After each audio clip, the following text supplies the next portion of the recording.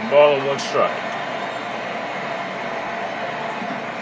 That ball's hammered to deep left field, and this ball is out of here. Home run, Ryan Howard.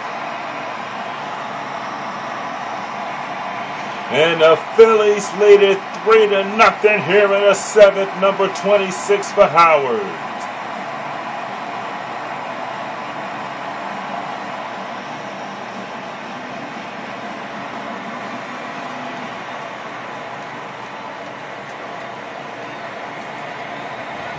Howard got a pitch, and he he took and stroked it up down the left field side. That ball went out of the park.